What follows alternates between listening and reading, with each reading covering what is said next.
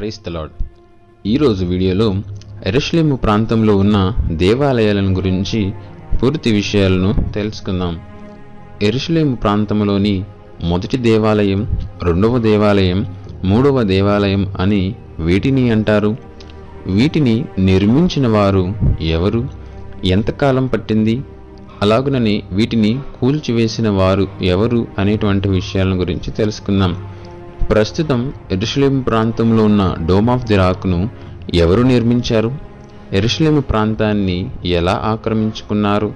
అనేటువంటి విషయాలను గురించి ఈ వీడియోలో తెలుసుకుందాం. పూర్తిగా చూడండి.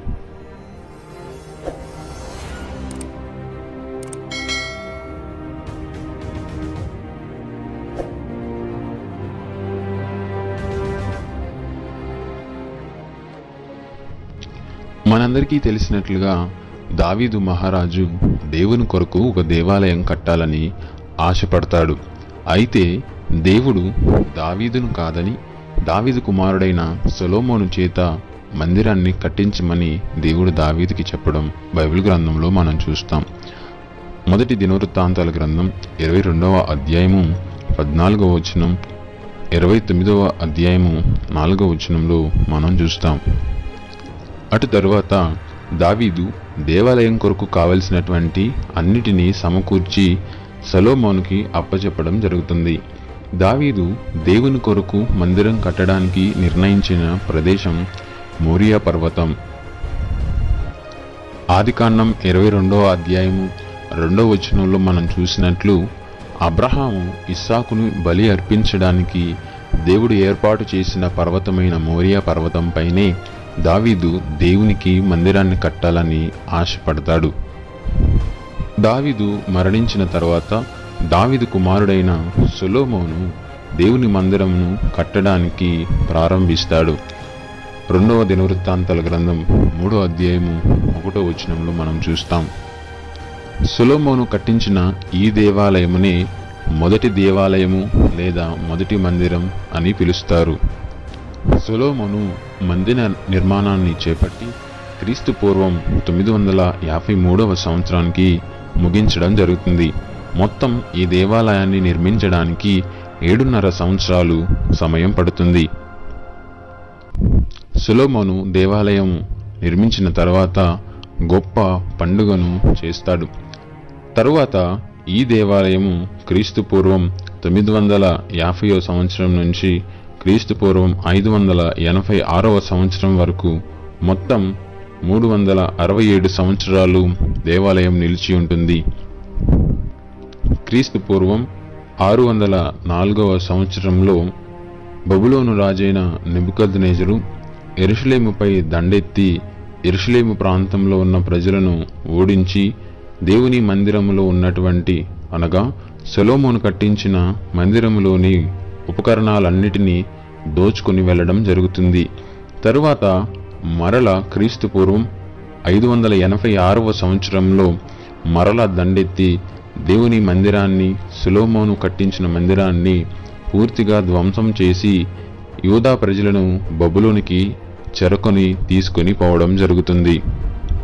ఈ విధంగా మొదటి దేవాలయము ప్రారంభము ముగింపు జరుగుతుంది.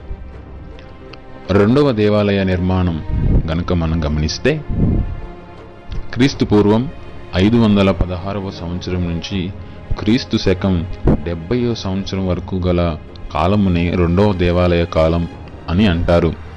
ఈ రెండవ దేవాలయ నిర్మాణము నాలుగు దశలలో పూర్తి చేయడం జరుగుతుంది. క్రీస్తు పూర్వం ఐదు వందల పదహారవ సంవత్సరం నుంచి క్రీస్తు శకం డెబ్బయో సంవత్సరం వరకు నలుగురు ప్రాముఖ్యమైన వ్యక్తులు ఈ రెండవ దేవాలయ నిర్మాణంలో ప్రాముఖ్య పాత్రను వహిస్తారు. క్రీస్తు పూర్వం ఐదు వందల ముప్పై ఏడవ సంవత్సరంలో బబులోను రాజ్యాన్ని జయించిన పర్షియా రాజుకు కోరేషు బబులోను చెరలో ఉన్న యూదులను తిరిగి వారి సొంత ప్రాంతానికి వెళ్ళడానికి అనుమతించి దేవాలయాన్ని తిరిగి నిర్మించడానికి ఆజ్ఞను జారీ చేస్తాడు. మొత్తం ముగ్గురు ప్రాముఖ్యమైన రాజుల క్రింద ముగ్గురి నాయకత్వంలో ఎరుషలేము దేవాలయము నిర్మించడం జరుగుతుంది. మొత్తం ముగ్గురు రాజులు ఎవరనగా కోరేషు ఐదు వందల ముప్పై ఆరవ సంవత్సరం క్రీస్తు పూర్వం అలాగనే దర్యావేషు క్రీస్తు పూర్వం ఐదు వందల పంతొమ్మిదవ సంవత్సరం అహశ్వరోషు క్రీస్తు పూర్వం నాలుగు వందల యాభై ఏడవ సంవత్సరం. మొట్టమొదటిగా ఎరుషులేము దేవాలయాన్ని నిర్మించడాన్ని ప్రారంభించిన వ్యక్తి జెరుబ్బాబేలు. ఈ విషయాలన్నింటినీ బైబిల్ గ్రంథంలో ఎజ్రా గ్రంథము ఒకటవ అధ్యాయం నుంచి ఆరవ అధ్యాయం వరకు మనం చూస్తాం.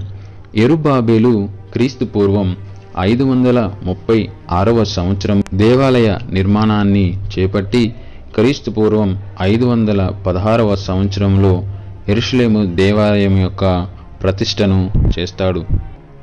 ఎజ్రా గ్రంథం ఐదో అధ్యాయంలో ఈ విషయాలను మనం చూస్తాం.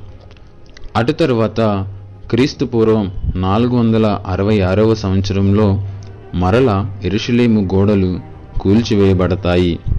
అటుపిమ్మట క్రీస్తు పూర్వం నాలుగు వందల యాభై ఐదవ సంవత్సరంలో శరయా కుమారుడైన ఎజ్రా నాయకత్వంలో మరల దేవుని మందిరం యొక్క నిర్మాణము జరగడం జరుగుతుంది. అటు తర్వాత క్రీస్తు పూర్వం నాలుగు వందల నలభై ఐదవ సంవత్సరంలో షూషన్ కోటలో ఉన్నటువంటి నెహిమియా ఎరుషులేము దేవాలయం యొక్క గోడలు పడిపోయి ఉన్నాయి అని మందిర ద్వారములు అగ్నిచేత కాల్చివేయబడ్డాయి అని తెలుసుకొని హృదయంలో వ్యాకుల చెంది దేవునికి ప్రార్థన చేసినప్పుడు మరల తన ద్వారా దేవాలయం యొక్క నిర్మాణము చేపట్టడం జరుగుతుంది. శత్రు రాజ్యాల నుంచి అనేకమైనటువంటి అవరోధాలు ఎదురైనప్పటికీ దేవుని దేవాలయం యొక్క నిర్మాణమును పూర్తి చేస్తారు. అటు తర్వాత క్రీస్తు పూర్వం ముప్పై ఏడవ సంవత్సరం నుంచి క్రీస్తు శకం నాలుగవ సంవత్సరం వరకు పరిపాలించిన హేరోదు మహారాజు వల్ల దేవాలయపు నిర్మాణము సంపూర్ణ దశకు చేరుకుంటుంది. హేరోదు మహారాజు యూదుడు కనుక తన రాజ్య పరిపాలనలో తను చేపట్టిన గొప్ప గొప్ప నిర్మాణాలలో అతి ప్రాముఖ్యమైన నిర్మాణము ఎరుషులేము దేవాలయము. ఈ ఎరుషులేము దేవాలయపు నిర్మాణాన్ని పూర్వ వైభవానికి తీసుకుని వచ్చి దాని యొక్క వైశాల్యతను విస్తరింపచేసినవాడు ఈరోజు మహారాజు. ఈ దేవాలయంలోనే యేసు ప్రభువారికి నామకరణం చేయడం జరుగుతుంది. అటు తర్వాత లూకాసు వార్త ఇరవై ఒకటవ అధ్యాయము ఆరో వచనంలో యేసు ప్రభువారు చెప్పినట్లు తన శిష్యులు ఎరుషలేము దేవాలయపు మందిర నిర్మాణం యొక్క సౌందర్యాన్ని చూపిస్తూ ఉండగా రాయి మీద రాయి నిలవకుండా దేవాలయము కూలిపోతుందని యేసు ప్రభువారు చెప్పినట్టు బైబిల్ గ్రంథంలో మనం చూస్తాం. ఏసయ్య చెప్పిన విధముగానే క్రీస్తు శకం అరవై ఆరవ సంవత్సరంలో యూదులు రోమా ప్రభుత్వానికి వ్యతిరేకంగా తిరగడం వల్ల ఈ యొక్క రెండవ దేవాలయం కూడా క్రీస్తు శకం డెబ్బైవ సంవత్సరంలో టైటస్ అనే చక్రవర్తి చేత కూల్చివేయబడడం జరుగుతుంది. దీనిని రెండవ దేవాలయపు పతనం అంటారు.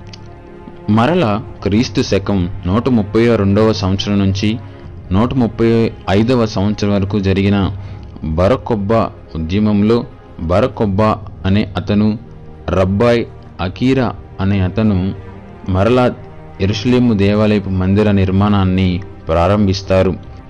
కానీ అతడు రోమన్ల చేతిలో ఓడిపోవడం ద్వారా దేవాలయపు నిర్మాణము ఆగిపోతుంది. అటు తర్వాత యూదులు ఎరుషులేములో ఉండకుండా నిర్మూలము చేయబడతారు. దేశమంతటా ప్రపంచమంతటా చల్లా చెదురుగా యూదులు వెళ్ళిపోవడం జరుగుతుంది.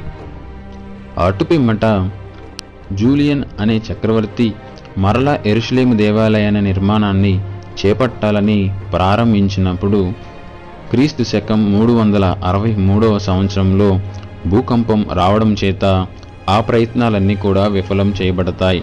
దానిని గల్లియ భూకంపం అంటారు. ఈ విధంగా ఎరుషలేము దేవాలయ నిర్మాణము జరుగుతుంది. సొలోమోను నిర్మించిన నిర్ దేవాలయమును మొదటి దేవాలయం అని పిలువగా అది బబులోను రాజైన నెబుకద్నేజర్ చేతిలో క్రీస్తు పూర్వం ఐదు వందల ఎనభై ఆరో సంవత్సరంలో నిర్మూలం చేయబడుతుంది. అటు తర్వాత ఇరుబ్బాబేలు ఎజ్రా నెహీమియా హేరోదు మహారాజు చేతిలో కట్టబడినటువంటి దేవాలయాన్ని రెండవ దేవాలయంగా పిలువబడడం జరుగుతుంది. సొలోమోను ఇజ్రా నెహేమియా ఇరుబ్బాబేలు హేరోదు మహారాజు కట్టించిన దేవాలయంలో ఈరోజు మిగిలి ఉన్న గోడనే ఏడ్పుల గోడగా పిలుస్తారు.